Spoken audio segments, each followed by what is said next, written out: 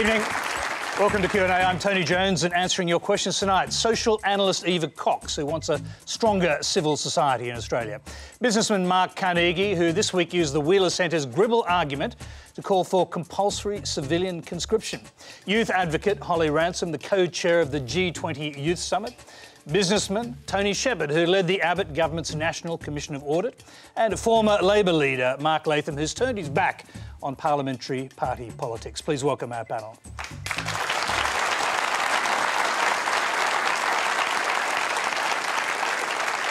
Thank you. And Q&A is simulcast on ABC News 24 and News Radio. You can join the Twitter conversation by using the Quanda hashtag. And remember, if you have a live question, add at Quanda to help us find it.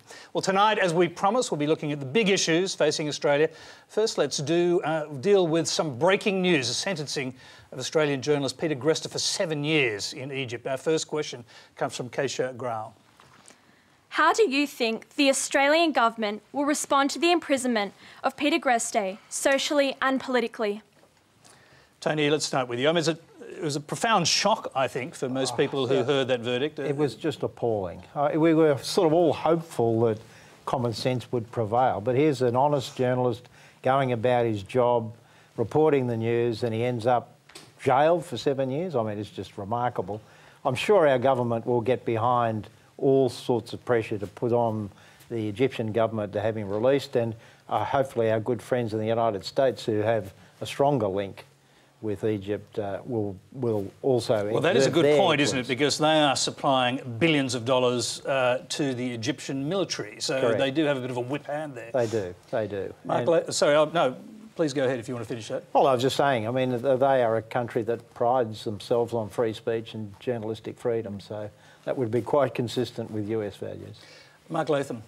Well, it's a straightforward task of diplomatic pressure, using every avenue available to uh, try and get this man some justice. Uh, he's been convicted of publishing false news. If we did that in Australia, we'd have hardly any journalists out in the street free.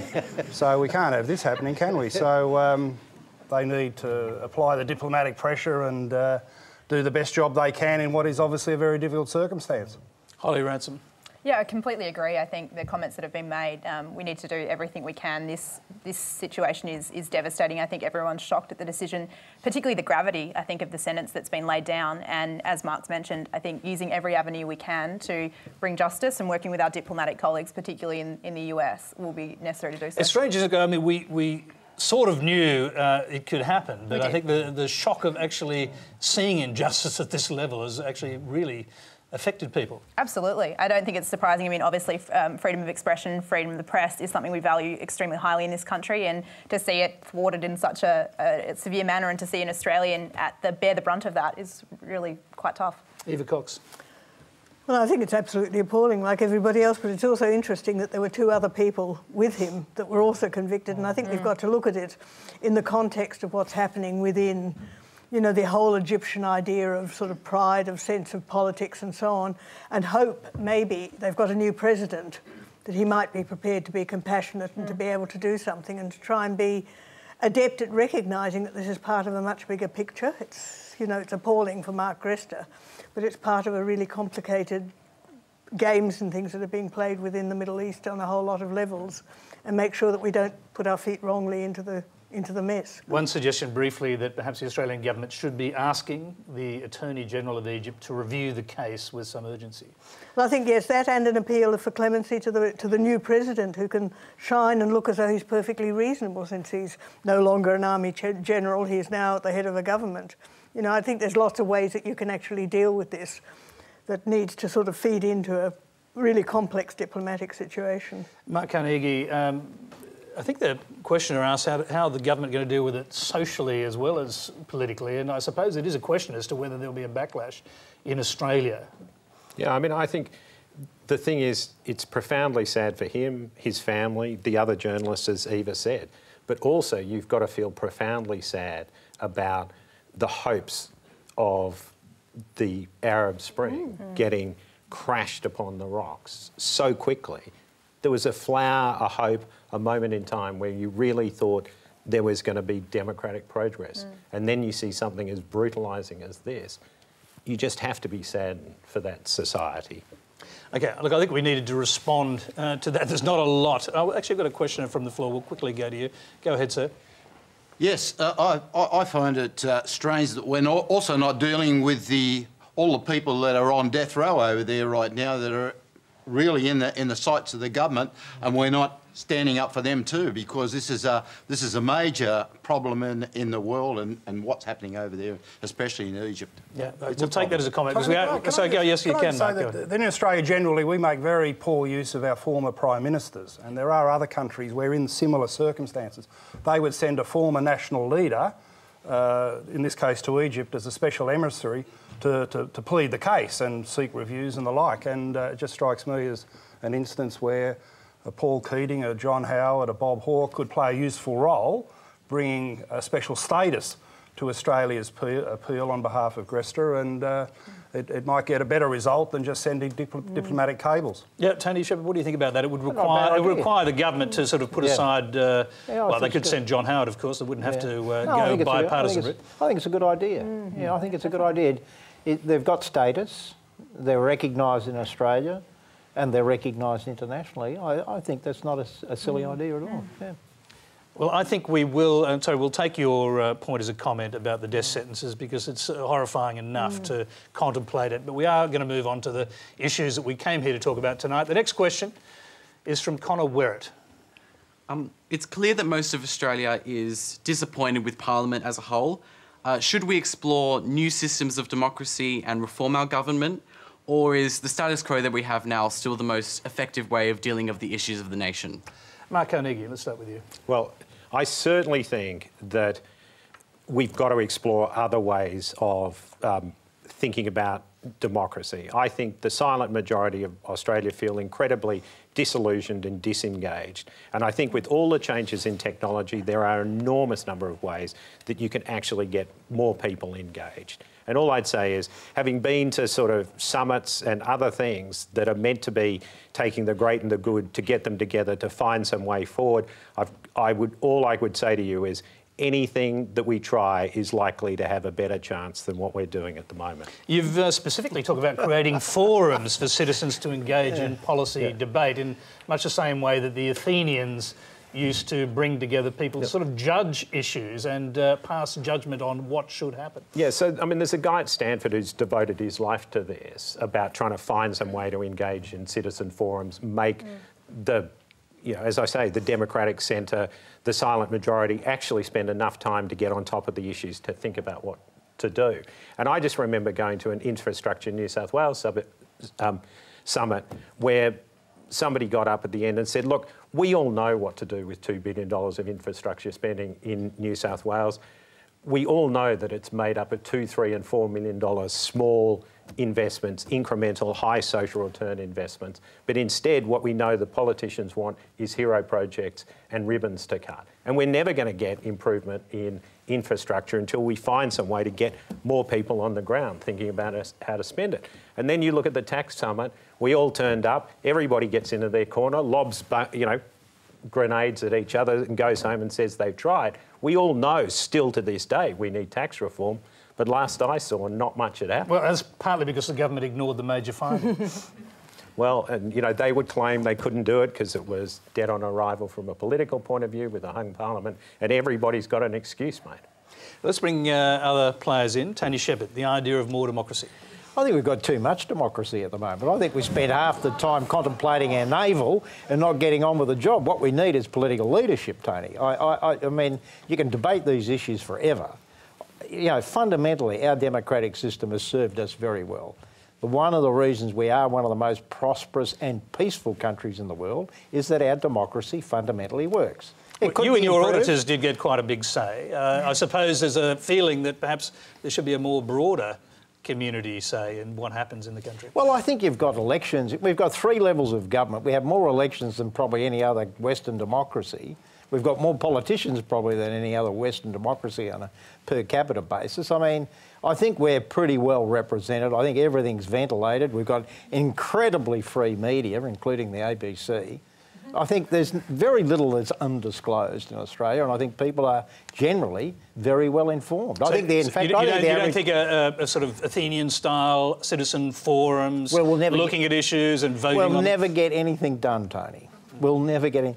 I was, I was thinking uh, back the other day, we were looking at the uh, Opera House, I think 1956, and we're deciding what will we build at Bennelong Point. And we've got three designs. We've got Utzon's beautiful design, we've got some Greco-Roman uh, you know, manufactured concept and a block concrete thing from, the, from London, basically. Which one would a citizens' forum pick? They wouldn't have picked Utzon's, I'm telling you now. At the time, at the time, you're right. They But, would have uh, picked it. I was a 56 child. I'm telling you, they wouldn't have picked it. So you need leadership. Holly. Yeah, but I also think there's, you know, Connor, to your point, like I think there's a great opportunity to engage people more broadly in making decisions. I don't think we really have a competition of ideas going on at the moment. I feel like we've got a lot of decisions being made by a, a handful of few and a majority are unelected that are making these calls. We've got an incredible opportunity, as Mark alluded to, with the technological disruption that's going on at the moment, to actually be able to utilise a platform like what America do. I don't know if you've seen challenge.gov. They've got a government site where they literally put up public sector problems. They put a closed time period on them, one to two months. They put prizes attached to them to incentivise participation. And they crowdsource ideas from their citizenry onto how they should tackle public sector problems. You know, when I spent time in Washington a year or two ago with the people who, who found that, and they were telling me an example of a medical technology that a student with an anthropology master's had solved. And it's an example of, I think, how in the knowledge economy, it's shifting the paradigm and who can solve problems, who can, uh, I guess, take advantage of opportunities. And the fact is, we're not engaging with that right now. Uh, Do you think, just specifically speaking on behalf, as you are here tonight, of young people, Yeah. do you think that there is a complete or a strong disengagement uh, that you're seeing that could be addressed in this way? Absolutely. I think, you know, we're seeing engagement. I'm fortunate enough to head the Y20 this year, and we're seeing engagement from levels of government internationally and domestically. But in terms of engaging broadly with young people, we had 400,000 young people last year who didn't choose to enrol to vote in the election. We're seeing an enormous level of disillusionment with levels of government, and really that's coming from this sentiment that government doesn't represent me and speak for me.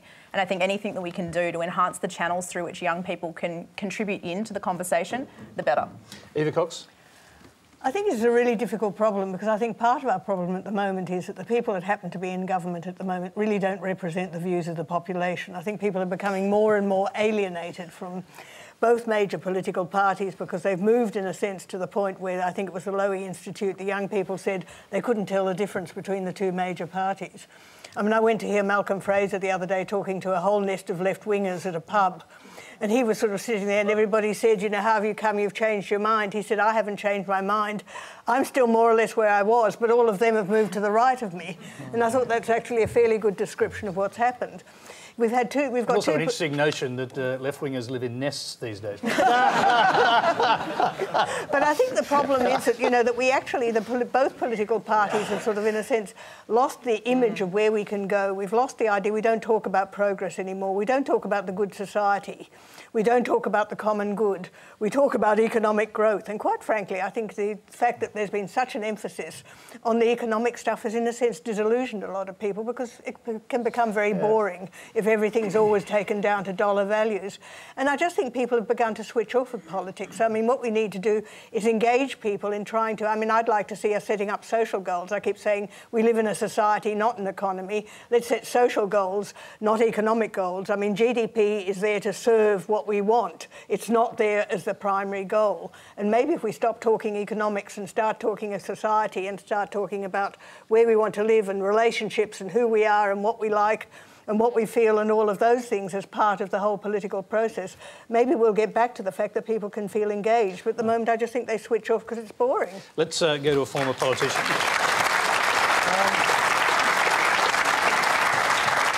Well, I, I think the starting point is to be honest about the situation. Uh, those of us here in the studio tonight, uh, people watching at home, are part of the minority in this country, uh, maintaining some residual interest in party political debates.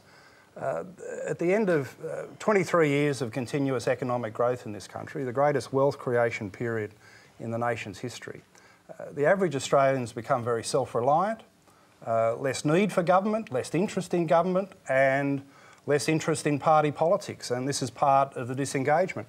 I think if you ask the average citizen what they want, they'd say less partisanship, less squabbling, more independent professional decision making. And uh, one of the great success stories in this country um, over the 23 year period has been a policy model along those lines with the Reserve Bank of Australia independently, professionally setting official interest rates. And uh, I think there must be scope to extend that model to other contentious areas of public policy. Uh, the most important long-term issue for the country is climate change, for, for, the planet, is climate change, but it's the worst level of political debate. Surely there's room at some point, uh, perhaps under a Turnbull-led Liberal Party, to have an agreement about an independent policy-making authority to look after this contentious issues. Take out the partisanship, take out the scare campaigns, take out the low-level party politics. And so too in framing the budget. Uh, Tony's been involved in this, but the budget debate in this country is just horrible. Uh, again, full of scare campaigns and political opportunism. You could use a model in macroeconomics similar to what we've got with the Reserve Bank uh, in monetary policy. Well, Tony, so, I mean, Tony might argue quite right the Audit Commission should have set the budget. Um, now, would they you be happy with that? Well, yeah. I think you could have, you could have a panel. Look, yeah, but look, I, have got to say, I mean, previous governments have set up, and the past government included, 930 bodies at the Commonwealth level to give advice on various things. So many of them, I think they lost their way.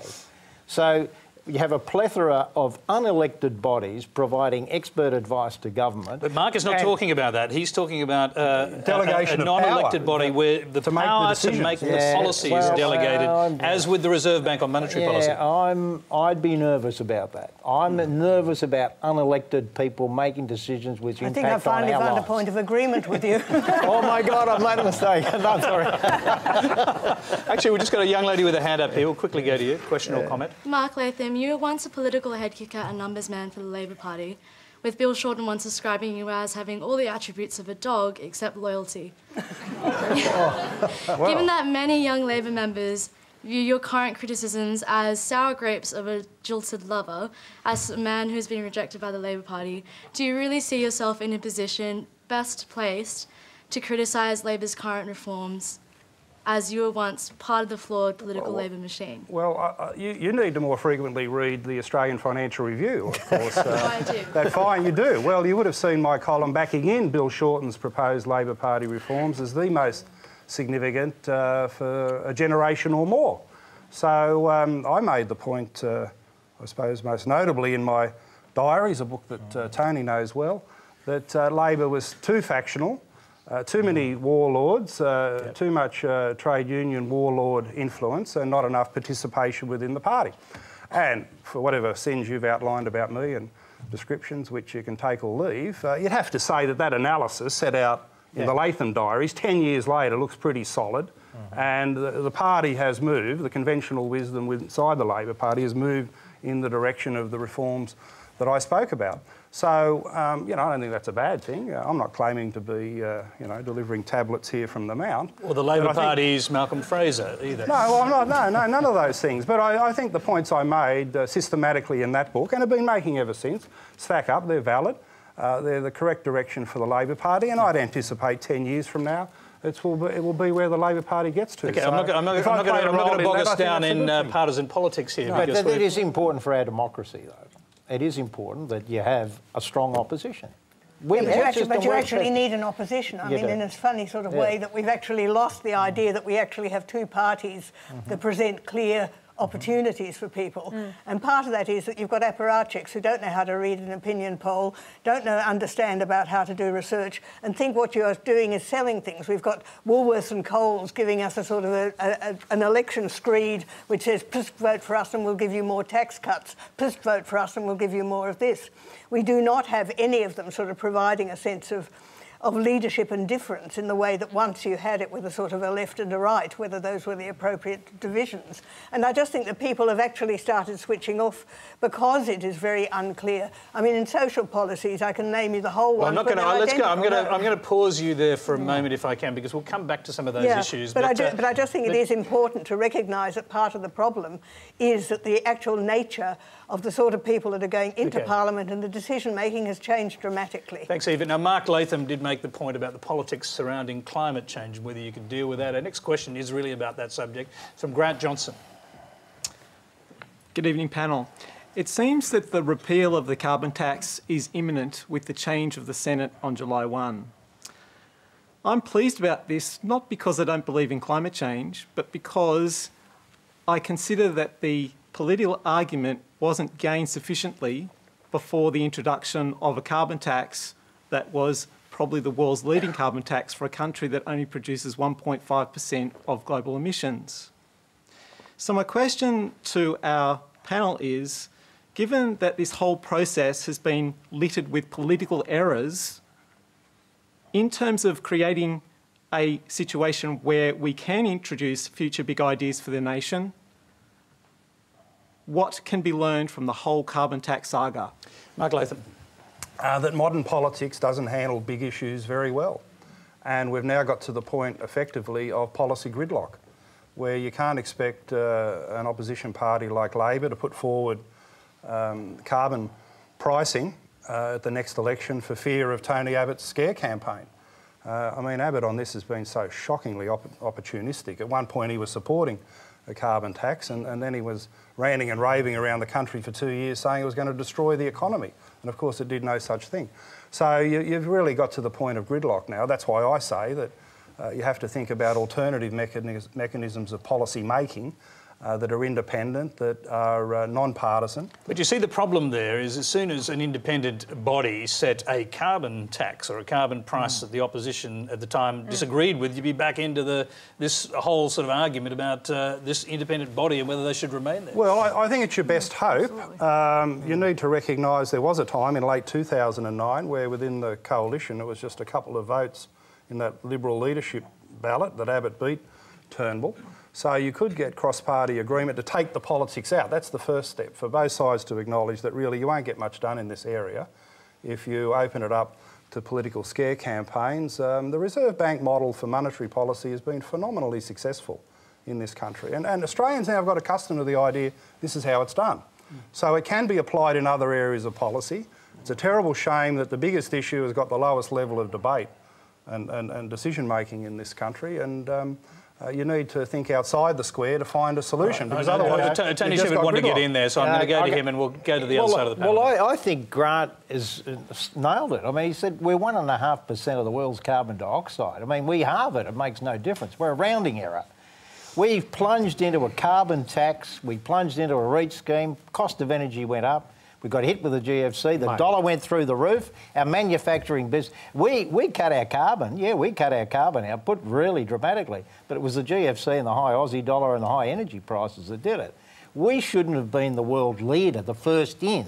We should have followed the rest of the world, and we should have been using our political power and dipl diplomacy to push the rest of the world down pricing carbon and take it up with the rest of the world. Don't be the world leader when you're a carbon intensive country producing a minuscule amount of carbon compared to the rest yeah, of the world. Only by that argument, nobody would do anything. Yeah. Well, so that no, great. No, nobody. Oh, well, that just makes the point. No, yeah, that'd be great. If, well, great in Australian yeah, context. But if, if that's your starting point that nobody in the world does anything, why do you give us? Why do you give us a lecture? Okay, uh, why do you Why do you give us a lecture about the policy area? Okay, why don't you just declare just, just, uh, that nobody should care about it? No, Climate I don't, change doesn't matter. No, I agree. we can have, a, we can have an all-night debate between you two. I'm going to pause you again. I want to actually hear from this side. Mark Carnegie wanted to jump in earlier. Tony, are you really going to tell your grandchildren that we should not have, have, as a nation, bought an intergenerational insurance policy about climate change? Let's debate the nature and extent of that. Okay. But as one of the most prosperous countries in the world, one of the biggest coal exporters, one of the richest countries on the world, we couldn't have been a thought leader, we couldn't have been an exemplar. When Exxon has said they back a carbon tax when Henry Paulson comes out today and backs a carbon tax. I'm going to have to look at my grandchildren and say we fiddled while Rome burnt. Well, look, what we should do is use, use our position, use our power to push the rest of the world along that path. We but did. We stood up, we stood up ahead of everyone else and said, we are going to lead the world and introduce a carbon tax. And then the biggest oil and gas company in America has said that's the most rational policy. The guy who headed the US Federal Reserve has come out today and said that's a rational policy. And that's the month we're going to go and repeal And this. our- the extent of it and the pricing and everything, I get to that. Yeah, and, you how we're gonna do- outsource that? I wouldn't outsource But- that. but but then I'm not trying to do that. I'm just trying to sit there and say, should the grown-ups and the children of Australia sit there and say, at a time like this, we should be having an adult discussion about the nature and extent And of aren't we what we're going to that do for our discussion? No, children. but we're not. We're not. We're having that anarchy. discussion. We're talking about what at what rate we do it and what price we We're not pay. having No, but direct hang on, action, hang on. You know, trees. you, you just contradicted yourself. We said you're at, we're only one and a quarter percent of all pollutants. One one point eight percent. Okay, well, what, in that case, why should anybody bother to listen to us if we can't set an example? Well, that's a We're good also point, one Eva. of the highest, highest actually polluters per capita. We Because have- we've got a carbon intense economy. I'm not, I'm not ashamed of that. Okay, In fact, well- we've, we've benefited from that. We This might has have been a benefited powerful, by it. And how, how been a much longer? How much longer are you going to rip it off and assume? Well, we're not can- benefiting from it now, that's for sure. Uh, can I just it. can I just interrupt to hear from the next generation uh, because it's true to say um, we heard about what grandchildren will inherit. Well, Hmm. that's also children and your children presumably, Holly. Absolutely. I mean, this i- issue is absolutely central to the, well, where the nation needs to move. And I think one of the challenges with um, the, the model that we've got of, okay, we, we have clearly identified with what's happened in the last couple of years that we don't have a system that's designed to deal very well with intergenerational issues. And the challenge is more and more of them are sitting on our plate. Hmm. Climate change is the case in point here and now. But my concern about moving to an independent body is, is getting that legitimacy. I mean, the thing that worked so well with the RBA was it was bipartisan. I mean, if we tried to propose something like that now, the legitimacy and the will behind it, I think, would be lacking to do it. But we've clearly identified that something more needs to be done because this issue is continuing to be political points scored back and forth, and we're not progressing ahead with something that's impacting on each and every one of us and the generations uh, that lie after us.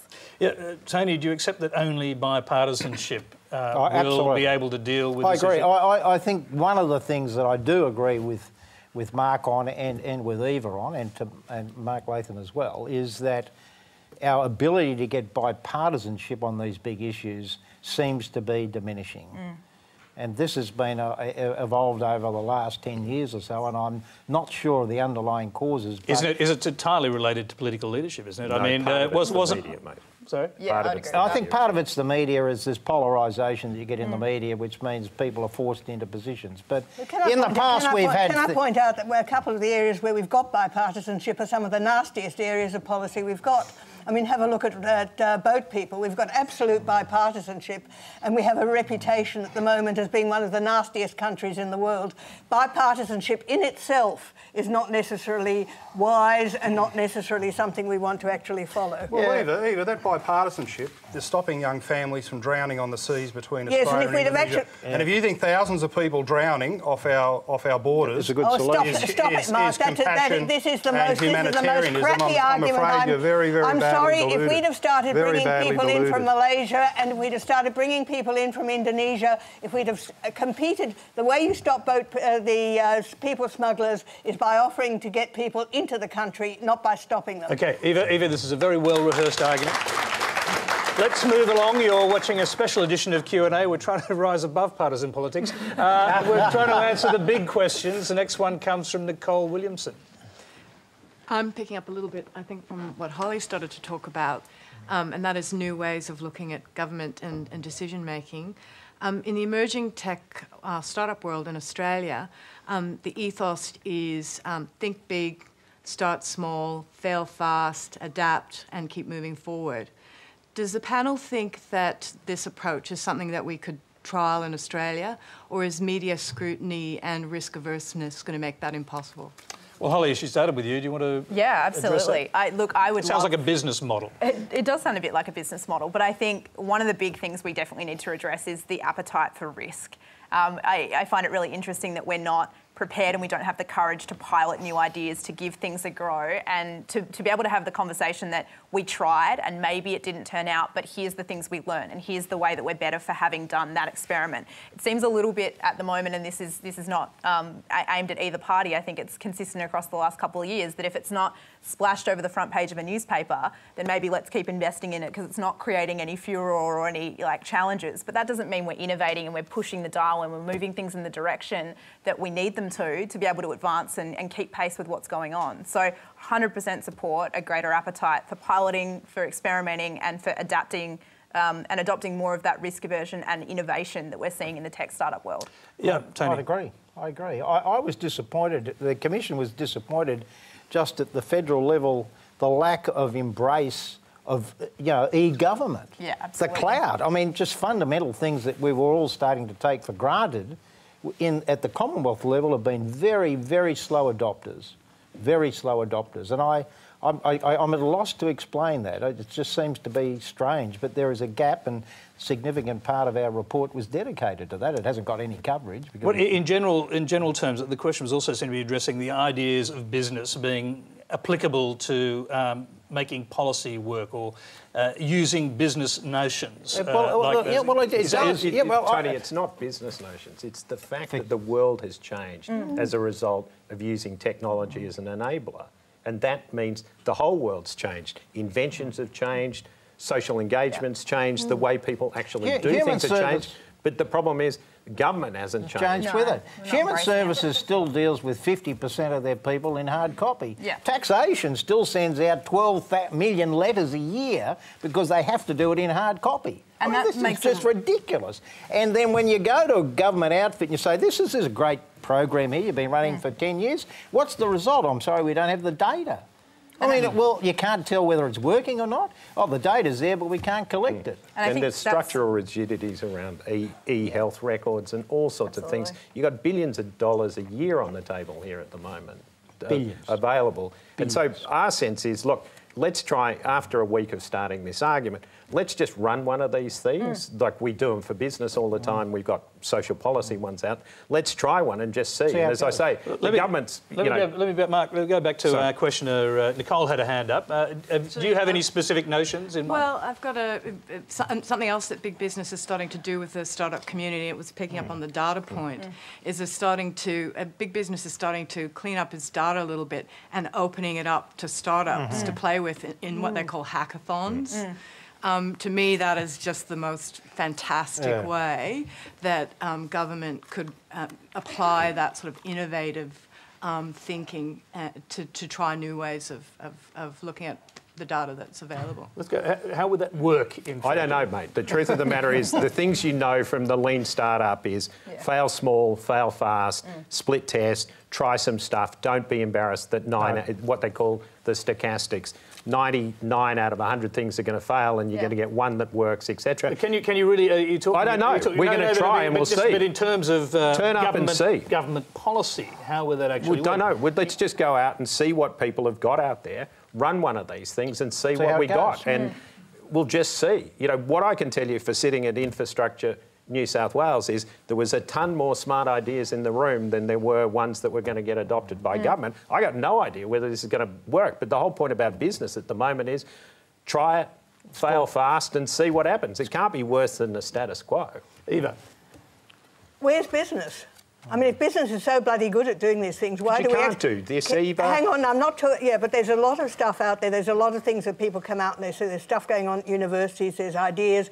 There's new inventions. There's new discoveries. There's various other things. Australian business won't pick them up. Australian business is not particularly fast on its feet. It's not particularly innovative, and maybe they've got to also have a look at oh, why they're not being all that smart. Usain Bolt compared to the government. I was just yeah, we got a, a questioner with a hand up there. Go ahead. Question or comment? Go ahead. Uh, just uh, on the point of uh, innovation, do you think that the tendency for ministers to want to be personally involved in, in projects and, and be the ribbon cutter is getting in the way of the frontline public service delivery? Yeah.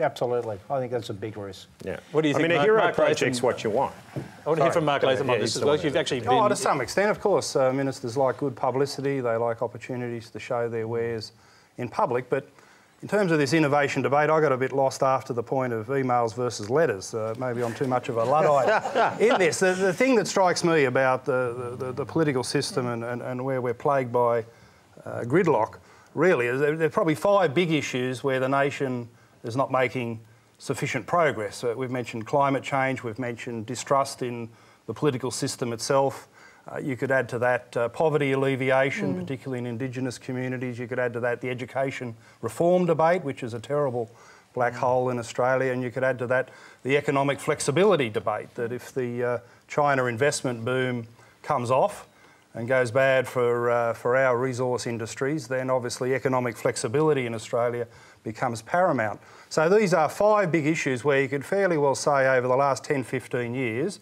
they've been on the agenda they're so big and important, the political system hasn't been able to resolve them and make any progress. So I'm not so much worried about the next uh, generation of innovation uh, in the public sector. I'm more worried about solving these big things that have been sitting on the plate for the last decade or so.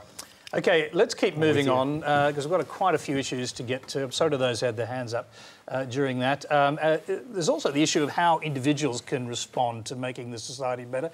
And the next question is about that. It's from Thomas Van Leeuwen. Uh, yes, my question is directed at Mark Carnegie. Uh, next week I'll be going to Gallipoli, uh, making the pilgrimage, and I wanted to ask more about your your uh, wisdom transfer theory. You say you want young Australians to re-engage with democracy, um, but I wanted to see what kind of activities, how you would do this. So what kind of activities that would be, and what the penalties would be. So you've got two different things, which is why do I think there needs to be compulsion around civic service is one idea. And then of the four ideas for what you use civic service for, one of which is this wisdom transfer idea. I've got some specifics around that. If I can take the second question first, wisdom transfer is just purely and simply as this, which is it's meant to be my business to be in the technology business. I can't make my DVD work, right?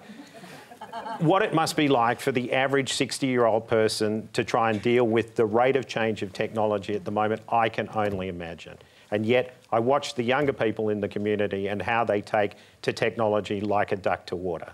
To my mind, that's wisdom of young people that old people would benefit from as they feel increasingly alienated. And some amount of actually getting them to engage with old people is really important. On the other hand, what I find so fascinating is that when I talk to young people, the number of them that don't know about Simpson and his donkey, one of the foundation myths of Australia with all of the complexity of history, absolutely stuns me. So the people who built the great nation of Australia, who were part of it, are sitting there feeling increasingly alienated and find some way to actually be able to have them engage with young people talk about the story of what's made Australia one of the greatest countries in the world. I think there's a lot of really wonderful things that can get done then. Then to the second part of your question. Yes, let's go to that. It's, this is the idea of compulsory civil volunteerism service, compulsory civil service. So conscription. yeah, fact. absolutely. And so my point about it is, you know, as I said to Guy Gribble, whose name I, you know, was used in the Guy Gribble argument so many times, you know, for you old 60s lefties, asking everybody to get, get, get together, hold hands, and sing Kumbaya is going to achieve absolutely nothing, right?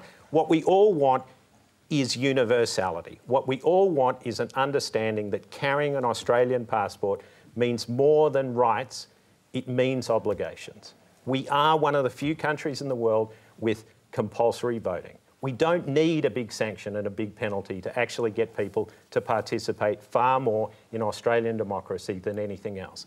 But the idea that you could actually sit there and say, we're going to be a world leader in democracy, we're going to get people more engaged. I think just the mere fact that you understood living in one of the great countries in the world involved obligations and not just rights was going to be a big and important thing. But you're, let's get this straight. You're not just talking about young people, are you? You're no. talking about everybody across every age group, I, as I said, excluding children to, and sick people. Yeah, absolutely. What I said was I spoke to a lot of people about more civic engagement, and the truth was everybody said that's a really good idea, but I'm too busy.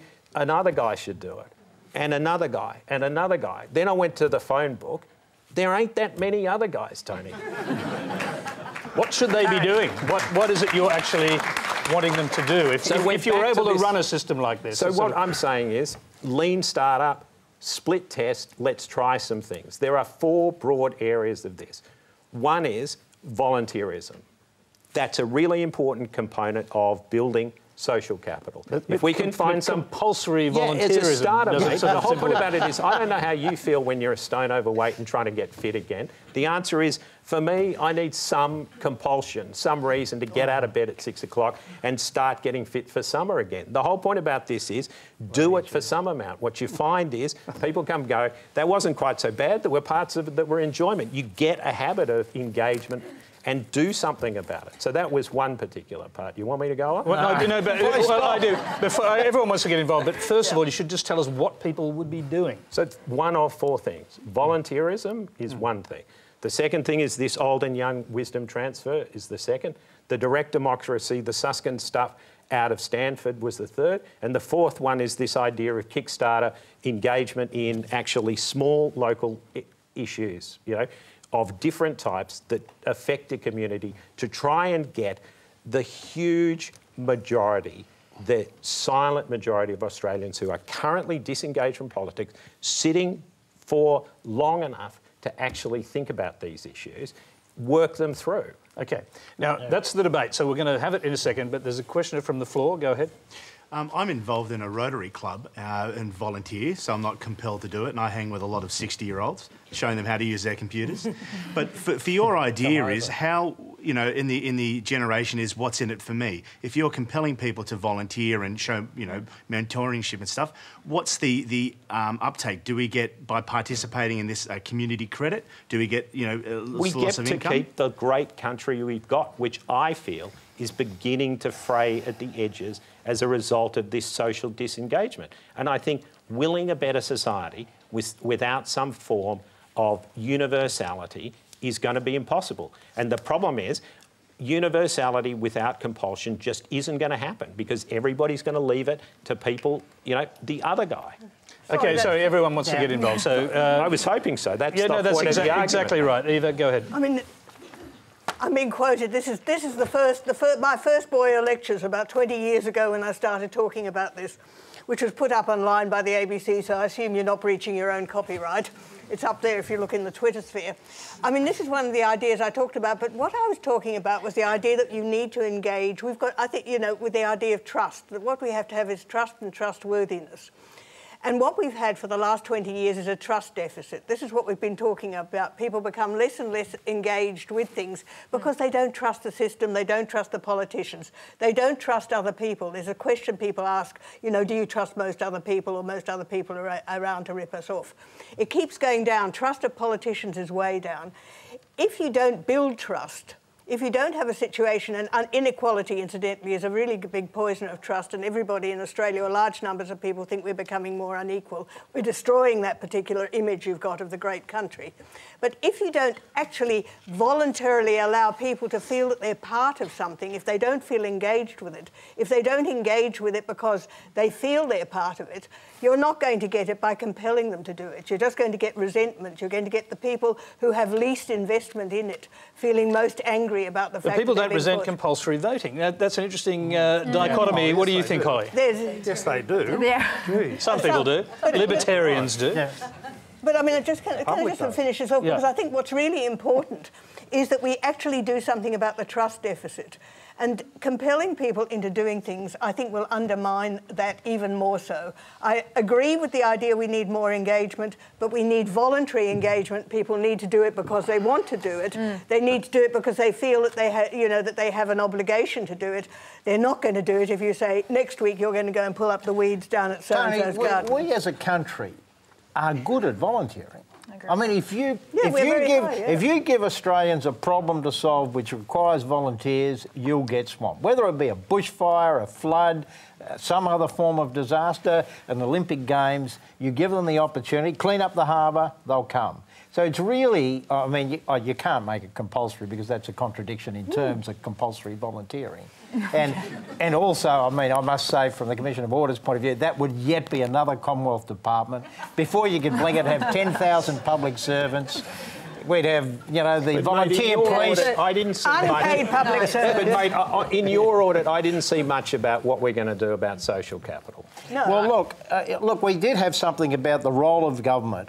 I, I I think that 23 years of, un, you know, of sustained growth, people have actually lost the concept of what it means to be a citizen and put back. And I, I think that might be an educational problem. It might be something that the media's got to stress more.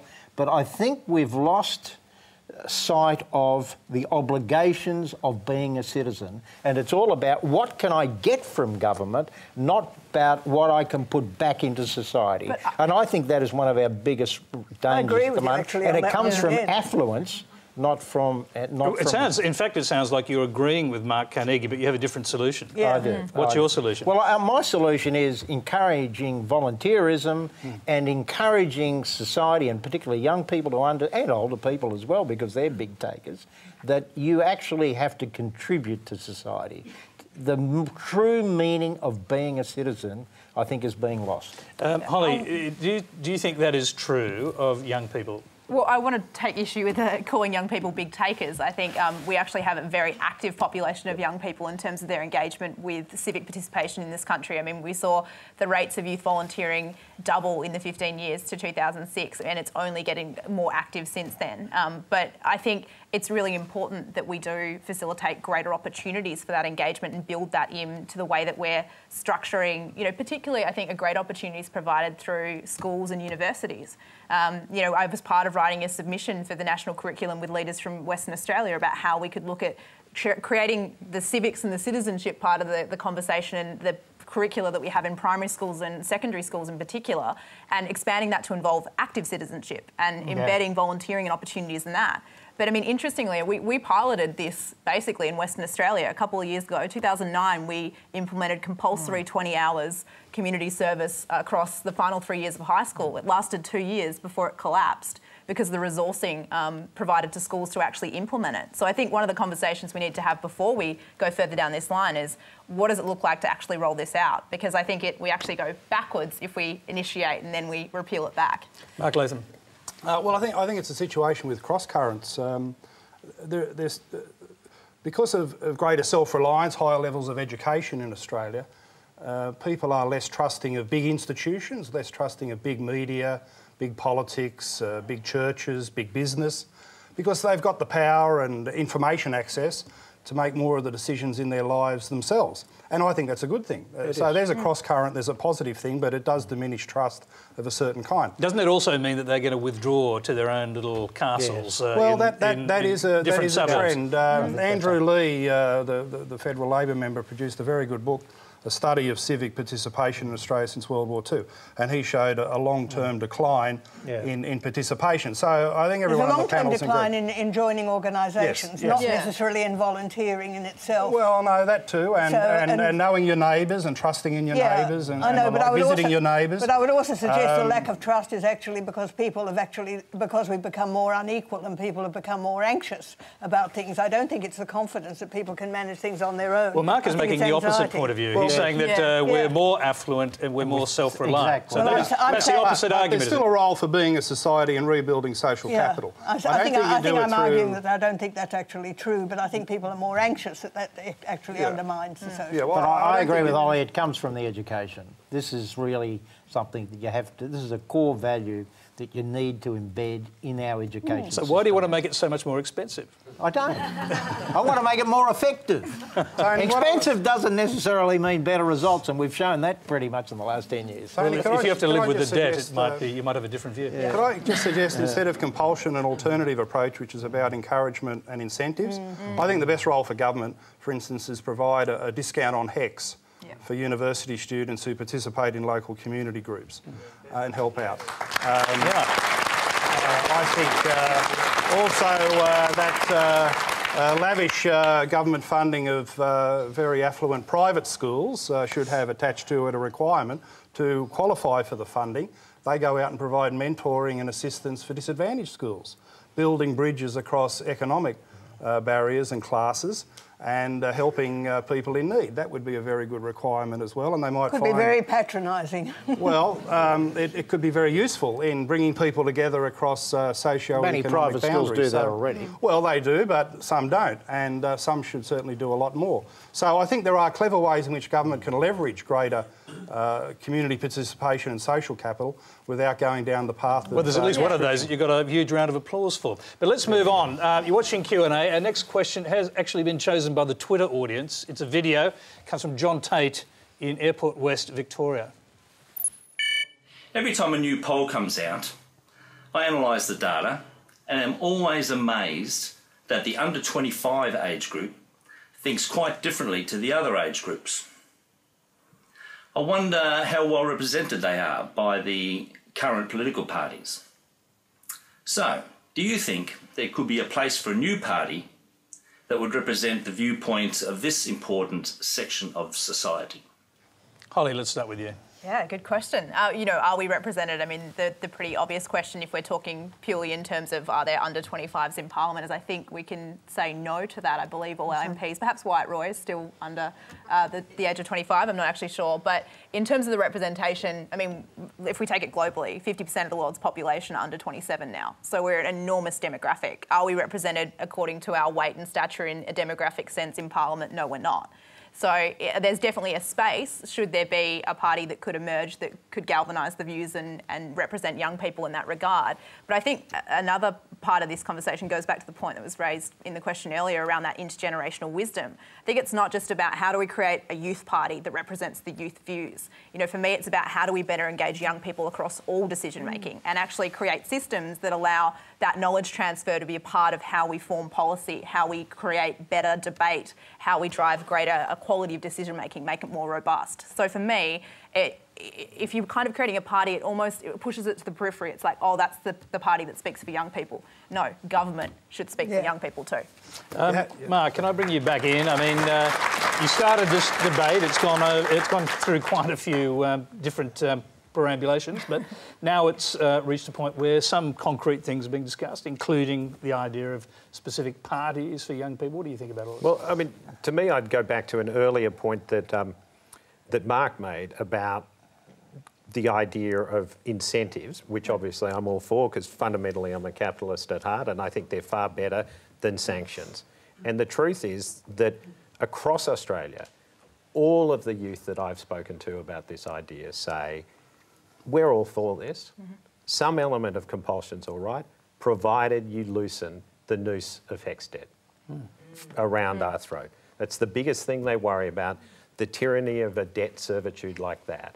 So finding some way to be able to do a give and a get by getting youth engaged with some amount of capacity on the HECS thing seems to me to be a perfectly reasonable argument from you. Let's just go back to Tony here. Had the Audit Commission thought along these lines or had that sort of uh, feedback coming into you? Do you think you might have recommended to the government that they consider some way of relieving the HECS debt by allowing, if, if people were in return, to give something back to the community? No, we didn't look at that, and it- No, but I'm it's, asking not you to a bad, think it's about a it bad, it's not a bad idea. I mean, our problem with higher education was, like a lot of other parts of the budget, it was growing faster than our GDP, faster than our revenue, and you know it was becoming unaffordable. So, we we did suggest deregulation of a couple of courses as an experiment because we were concerned about the possibility of a blowout in the cost.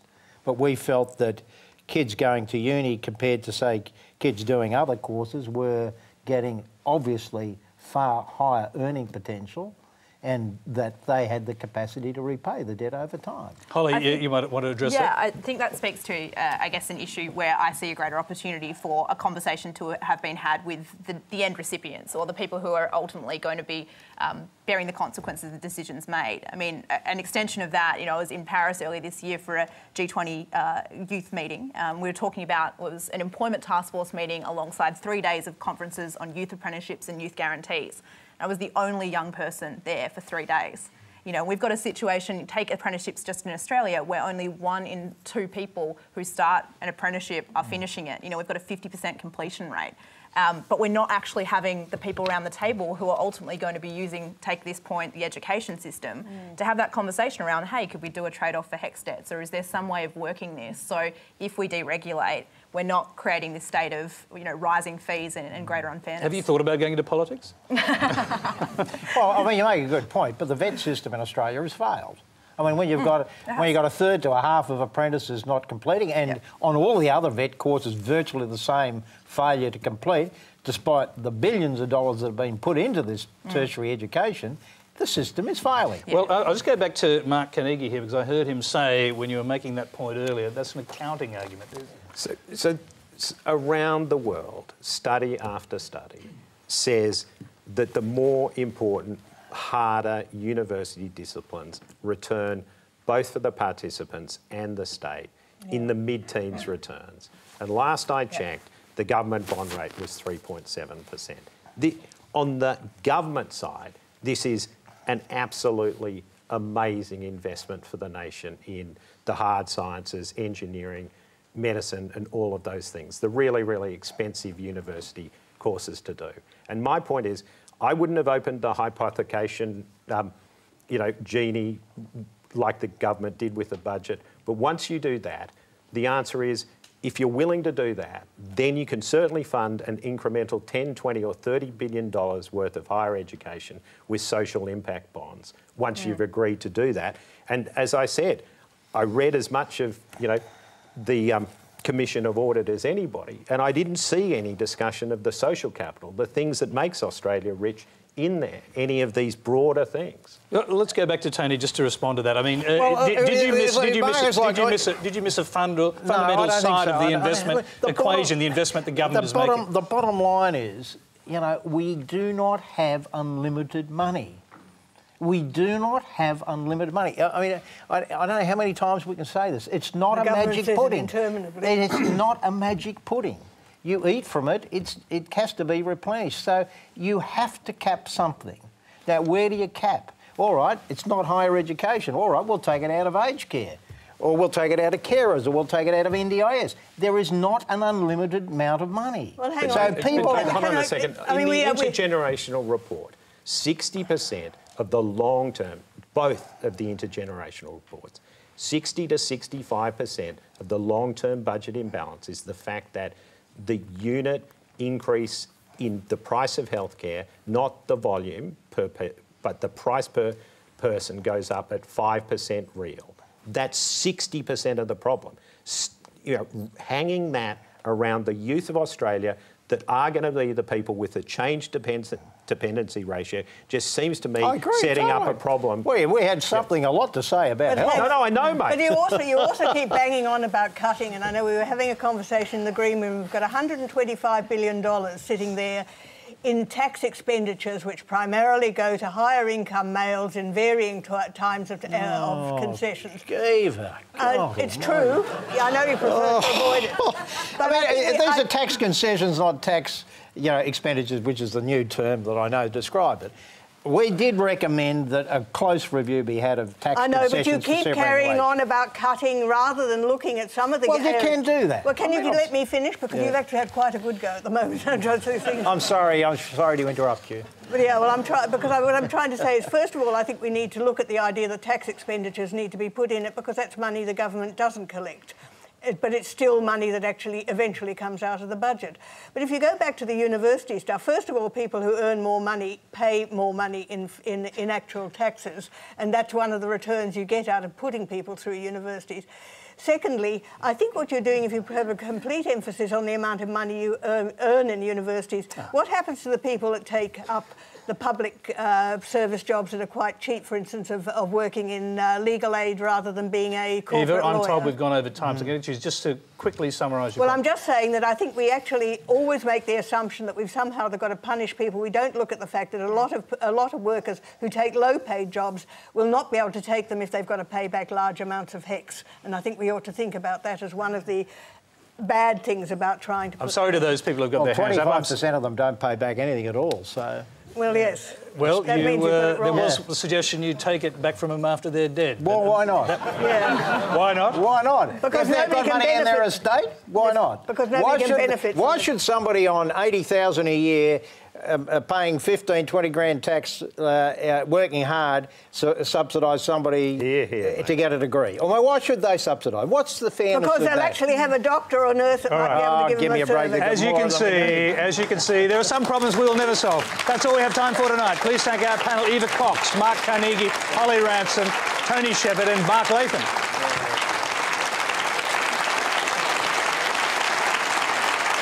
Thank you.